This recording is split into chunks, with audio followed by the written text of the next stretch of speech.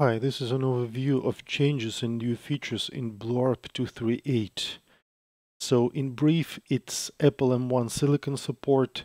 So now it's kind of will run natively on Apple M1, but it will still run on all the Intel Macs. It's uh, improved GUI scaling, and um, so it will scale up correctly on 4K monitors in Windows and on high resolution displays on Mac. And it's um, New ARP mode setting, automatic on, off and through for the live performances. So first let's check the GUI.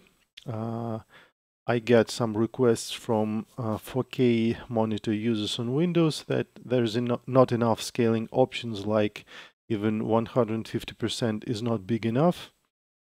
So kind of basically 4K, I have full HD and 4K will be two times linear as big and it will fit kind of four full HD screens. So yeah, maybe pretty can be pretty small on 4K.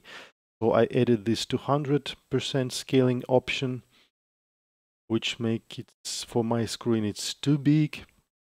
But another thing that on 4K it should automatically detect the screen resolution and scale up two times more additionally. So if you run BlueARP in 100% GUI uh, scaling on 4K display, it will be actually 200%. So it will kind of scale up automatically depending on the screen resolution. And if it eventually, maybe something will go wrong, I didn't check it because I don't have 4K monitor. In this case, you can use underscaling option if it gets too big on your monitor, like 75% and 60%. Yeah, makes it too tiny and kind of unusable on my screen, but yeah, on 4K might help. First, let's go to my uh, MacBook Pro and check how it looks there. Now I'm screen recording from my MacBook Pro. Let's check how the previous 237 version looks like. And here you see that everything is quite blurry. Now let's go to the FL Studio. And here we have BlueARP 238 so you see it's it's kind of much much sharper and better and no blurring. Now let's go back to Windows and check the other features. So we're back to Windows.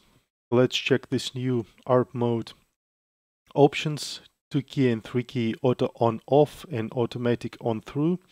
And what it does basically if I press three keys it arpeggiates, but I if I press one or two keys, it's it's muted.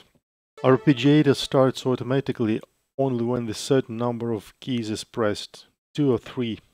And three key automatic on through is more interesting, I think, for the live performances, because when I press one or two keys, it works just as a pass through. So I can play solos but as, soon as I press three keys, it will start arpeggiating.